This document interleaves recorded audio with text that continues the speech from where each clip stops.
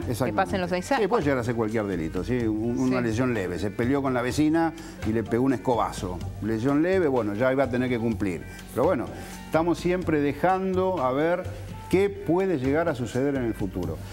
Yo lo que creo es que hay que modificar el Código Penal incluir un capítulo en el Código Penal que hable de la seguridad vial.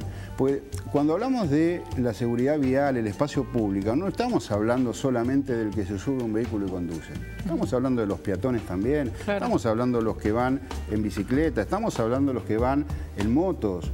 Todo ese sistema conforma lo que es el tránsito por la vía pública y nos estamos matando todos los días. lo mal que se maneja, es una cosa... Bueno, ese es un gran problema. Todos decimos eh, no nos va a pasar. O sea, yo sé que no voy a ir a comprar un arma para robar, eso está claro. ¿sí? Ahora, ¿Yo qué digo? No, yo no voy a matar a nadie, a mí no me va a pasar si doblás de una avenida a, 70 en una callecita de Buenos Aires y no mirás cuando doblás, es criminal.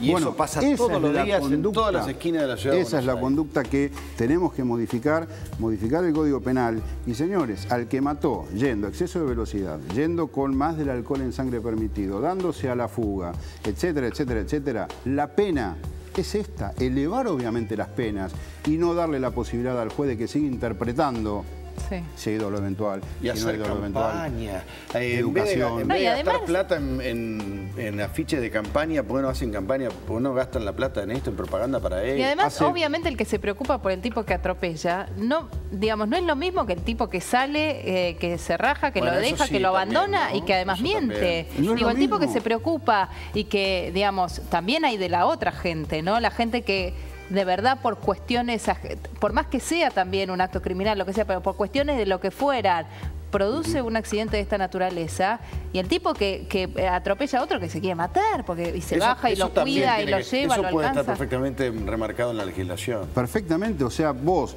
matás o lesionás infringiendo determinadas normas, la pena es esta. Si no las infringís, la pena es otra. Claro, ¿sí? Son penas escalonadas. Hay un montón de proyectos. Eh, hubo media sanción de diputados el año pasado. En el trabajo en comisión, obviamente, eh, acá también yo creo que hay intereses. No nos olvidemos que están las compañías de seguro por detrás. O sea, hay un montón de cuestiones, ¿no? Pero había un bloque que su postura era no ir por encima de los tres años. ¿Qué significa? No que no es escarcelable, ¿sí? porque la escarcelación pasa por otro lado. El tema es que si le llegaran a dar una condena, esa condena es efectiva. Claro. Si voy de tres, con tres años y un día, esa condena es efectiva. Bueno, había un bloque que no quería saber nada, o sea, eso no se discutía, ni siquiera se discutía. Y otro bloque decía, pero escúchenme, estamos hablando de determinadas conductas. La pregunta es, ¿por qué no quieren elevar esas penas. Y yo soy un convencido porque creen de que es un delito leve, porque creen de a, cualquiera de ellos que levante la mano en el recinto le puede pasar a sus hijos, a su tío, a su hermana. Pregunto, yo una más muy cortita, ¿en otros países qué pasa? El mejor ejemplo que, de lo que pasa en, eh, materia de... la, legislación es muy variada, ¿sí? Hay, hay países donde es terrible, o sea, eh, es un homicidio simple prácticamente, no conducís nunca más en tu vida. Bueno, en Uruguay se eh, sabe que es mucho más duro. Uruguay es más duro, Chile, el año pasado sancionó la ley Emilia, se acabó. Eh, Estados Unidos, España es un mix, pero estamos hablando de otras sociedades también, ¿eh? de otras culturas. Eh, yo creo que acá... Este es el país de la desobediencia. Acá nadie respeta nada y cuando vos no tenés una legislación acorde y jueces que no aplican lo que hay, porque hoy perfectamente un juez puede decir, señor, usted tiene cuatro años de prisión efectiva. Y se acabó la historia. Claro. Y no estaríamos hablando tal vez en estos términos.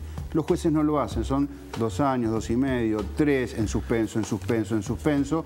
No podés conducir durante ocho años, nueve años, después plantean determinadas cuestiones los abogados, ese tiempo obviamente se acorta, y una persona que perdió a su hijo a los cuatro años ve a quién lo mató, pasando por la puerta de la casa conduciendo como si nada hubiera pasado.